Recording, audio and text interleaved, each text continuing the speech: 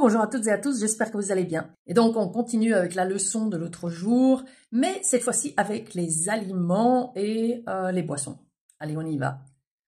La pomme, alma, az alma, la banane, a banane, l'orange, a narancs, en orange, le citron, a citrom, mhm, a citrom, la carotte, a répa, mhm, la tomate, a paradicsom, le poivron, a paprika, en paprika, la pomme de terre, a krumpli, en crumpli, le sandwich, a szendvics, en sandwich, le gâteau, a süti, vagy torta, en torta, mhm, euh, la pizza, a pizza, pizza, la salade, en salata, le riz, a rizs, rige, igen, les pâtes, a tészta, mhm, en testa,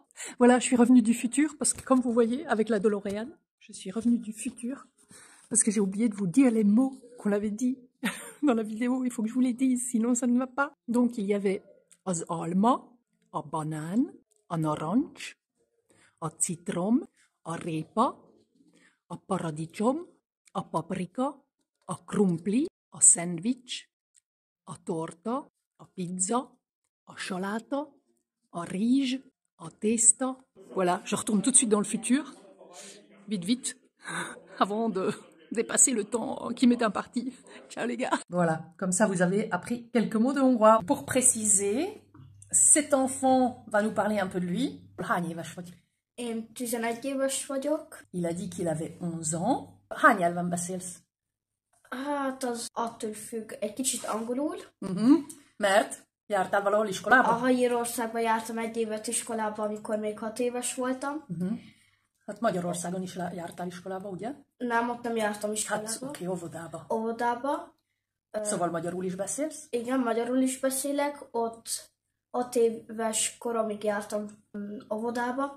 Utána megismertelek téged, és utána mentünk el Írországba. Szóval hány nyelven beszélsz? Magyar, német, egy kicsit angolul is tudok.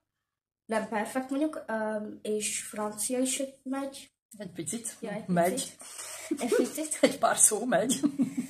ok. Yo, ok.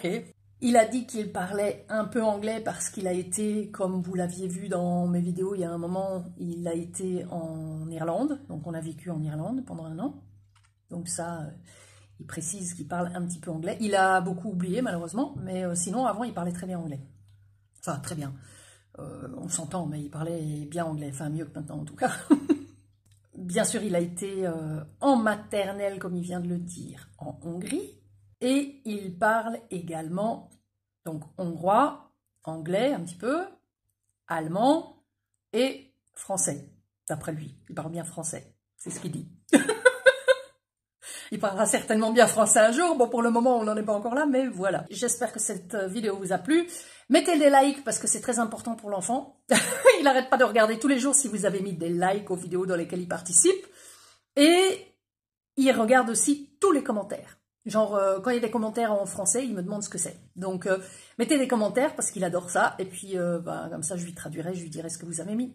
Merci beaucoup. À très bientôt pour un nouveau cours de hongrois. Ciao, bye bye. Voilà, je retourne tout de suite dans le futur parce que le présent là, il,